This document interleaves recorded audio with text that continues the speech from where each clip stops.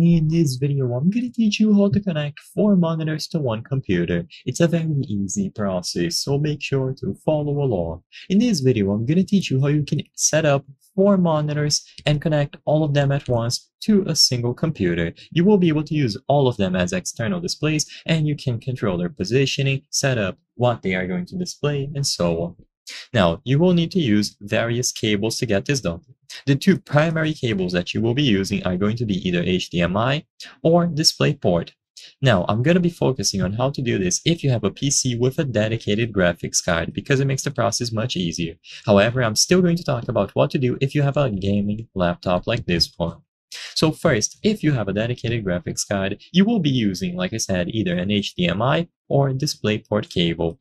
So if you look at the back of your computer, you should be able to find your graphics card and you can see all the ports that it has. So in this example here, this 4090 from ASUS has two HDMI ports, these ones here, and then three DP ports. So all that you have to do is connect the cables into each of these ports according to how many you are going to be using.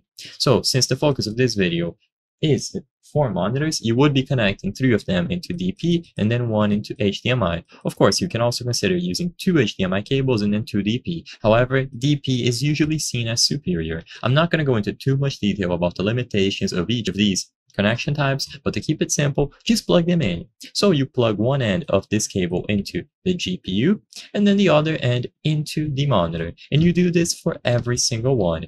Once each of these monitors is connected to the GPU. If you go over to the settings on Windows, you will be able to find all of them recognized as external displays, and you can set up their positioning however you prefer.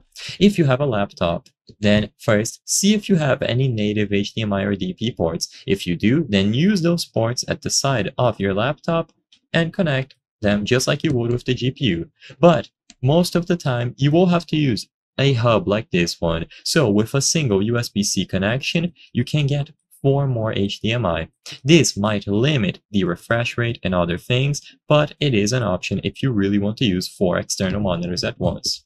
I hope I was able to help you on how to connect four monitors to one PC. If this video helped you, please be sure to leave a like and subscribe for more very easy tips. Thank you for watching.